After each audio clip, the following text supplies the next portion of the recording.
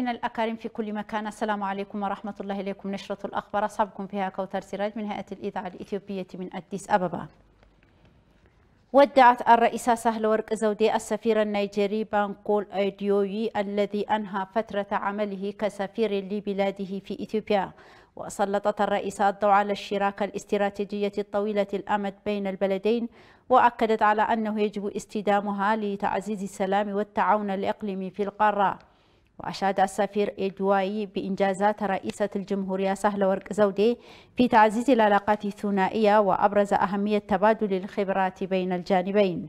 وتتمتع إثيوبيا ونيجيريا بعلاقات دبلوماسية منذ الستينات وفقا لمكتب رئيسة الجمهورية.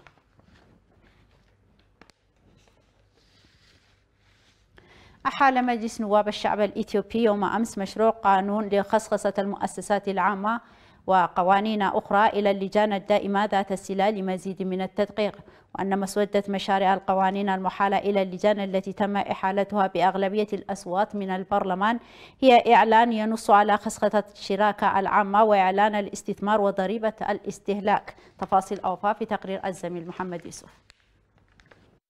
تم إحالة مسودة مشاريع القوانين إلى اللجان الدائمة المعنية وهي مشروع خصخصة الشركات العامة وإعلان الاستثمار وإعلان ضريبة المواد الاستهلاكية. لقد ظل مشروع خصخصة المؤسسات العامة دون تعديل لأكثر من عشرين عاما فقد أصبحت مراجعة الإعلان ضرورية لتوسيع دور ومشاركة القطاع الخاص في الاقتصاد وزيادة قدرة وتمويل المؤسسات العامة لتحسين التنمية والقدرة التنافسية. وبالمثل أصبح من الضروري مراجعة إعلان الاستثمار لتسريع التنمية الاقتصادية للبلاد وضمان استدامتها وتعزيز القدرة الإنتاجية المحلية. وأعرب بعض أعضاء المجلس عن تقديرهم لمبادرة تعديل القوانين وأهميته لكنهم أثاروا مخاوف بشأن التلوث البيئي والقضايا المتعلقة بالأراضي. كما أن إعلان ضريبة الاستهلاك ضروري لجمع وفرض الضريبة على السلع والخدمات التي يعتقد أنها رفاهية وخطرة على الصحة وتسبب مشكلات اجتماعية بالإضافة إلى السلع الأساسية التي لا يحتاجها المستهلكون. قال نائب رئيس الوزراء السيد دمك أمكونن إن إثيوبيا ملتزمة بتوفير الدعم اللازم للاجئين على أساس الإطار الشامل للاستجابة للاجئين. جاء ذلك في المنتدى العالمي الأول للاجئين الذي انطلق في جنيف بسويسرا. محمد يوسف. يعد المنتدى أول تجمع على المستوى الوزاري لمتابعة التنفيذ العملي للاتفاق العالمي بشأن اللاجئين والذي تم تأكيده في الأمم المتحدة في نيويورك في ديسمبر عام 2018 وأوضح نائب رئيس الوزراء للتجمع أن إثيوبيا ملتزمة بتوفير الدعم اللازم للاجئين على أساس الإطار الشامل للاستجابة للاجئين. وأشار كذلك إلى أن البلاد تجري إصلاحات لتلبية احتياجات اللاجئين. وأعلن نائب رئيس الوزراء دمك مكونن على التزامات جديدة مرتبطة بالتعهدات التسعة الحالية التي تم التعهد بها في قمة القادة حول اللاجئين في عام 2016 واستضافت المفوضية السامية للأمم المتحدة لشؤون اللاجئين هذا المنتدى بشراكة مع سويسرا وتنسيق كل من كوستاريكا وإثيوبيا وألمانيا وباكستان وتركيا. هناك الآن أكثر من 70 مليون شخص بين لاجئ ونازح جراء الحروب والصراعات والاضطهاد في جميع أنحاء العالم. منهم أكثر من 25 مليون شخص ممن اضطروا للفرار عبر الحدود الدولية وهم غير قادرين على العودة إلى ديارهم. أجرى نائب رئيس الوزراء السيد دمك أمكونن محادثات مع وزير الخارجية السويسري إنزوي كاسي على هامش المنتدى الدولي للاجئين الذي عقد في جنيف. وخلال اللقاء بحث الجانبان سبل توطيد العلاقات الثنائية بين البلدين. وتشير المعلومات الواردة من مكتب نائب رئيس الوزراء إلى أن البلدين قد وافقا على العمل بشكل وثيق في إطار التعاون والاتصال لمختلف القطاعات مع سويسرا. وعلى هامش المنتدى أجرى نائب رئيس الوزراء دمك مكنن محادثات مع المدير العام لمنظمة الصحة العالمية الدكتور تيودروس أدهانوم يوم أمس الثلاثاء.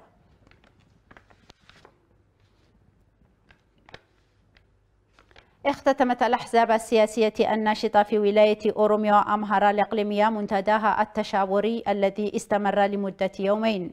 وقد المنتدى لمناقشة الأوضاع في الجامعات في كلتا الولايتين الإقليميتين والتوصل إلى توصيات. كما ناقش المنتدى سبل تقوية العلاقات بين شعوب الإقليميين وتحقيق توافق وطني. وفي نهاية المنتدى تأهد الطرفان بالإسهام بدورهما في معالجة السبب الجذري للنزاعات وتحقيق السلام في الجامعات. ودعا المشاركون إلى مساءلة محرضي النزاعات وتعزيز الإجراءات الأمنية لحماية أمن الطلاب.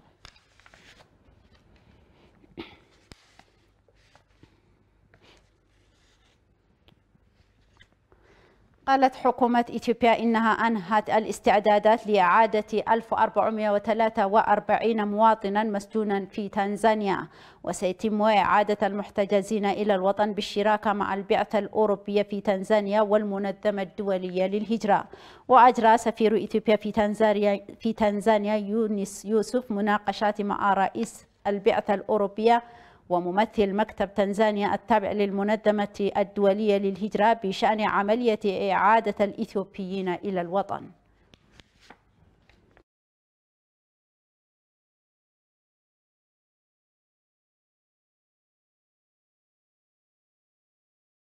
استفادت الدول المتقدمة من القمر الصناعي الذي تطلقه إلى الفضاء في مجالات متعددة.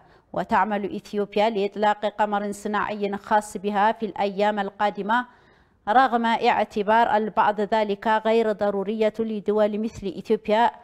استطاعت البلاد لإكمال مشوارها في هذا النهج المحفوف بالتحديات.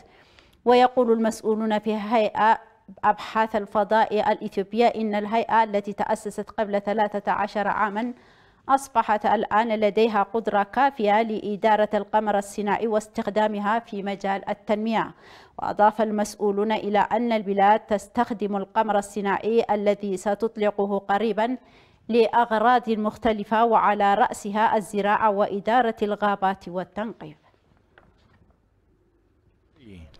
two, one. Lift off. إثيوبيا ستطلق أول قمر صناعي في العشرين من شهر ديسمبر الجاري وسيتم الإطلاق من الصين وسيصبح مركز القيادة في أديس أبابا. نكتشف العالم لمصلحة شعبنا.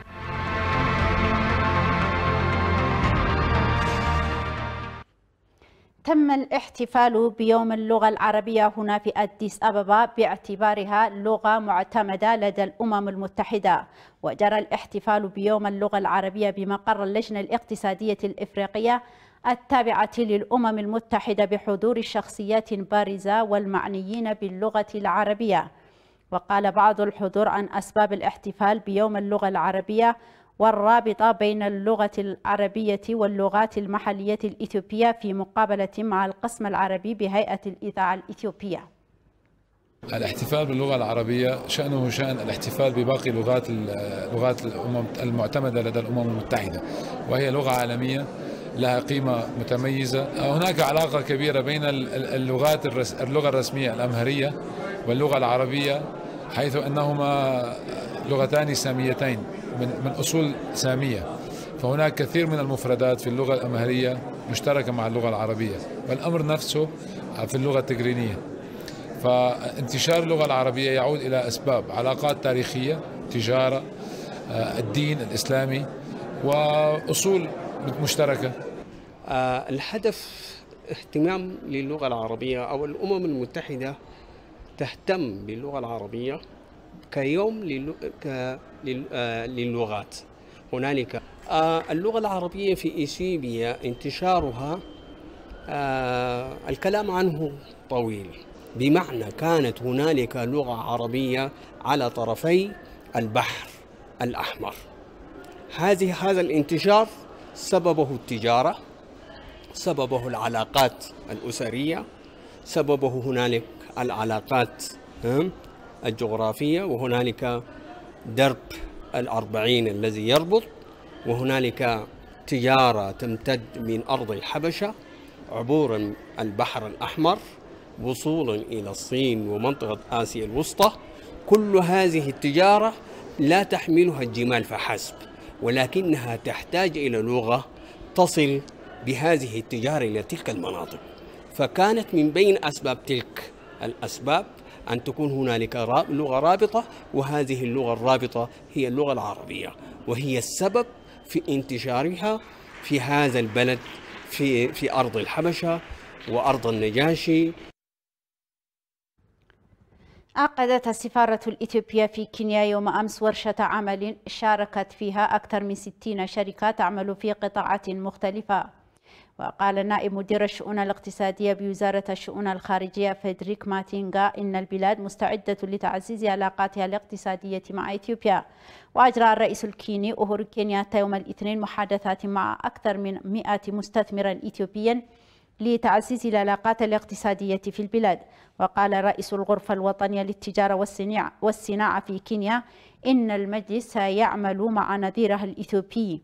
وقال السفير ملس آلم السفير الإثيوبي لدى كينيا إن السفارة تعمل على جذب رأس المال الكينيين. هذا وتم إطلاع رجال الأعمال الكينيين على حوافز فرص الاستثمار في إثيوبيا.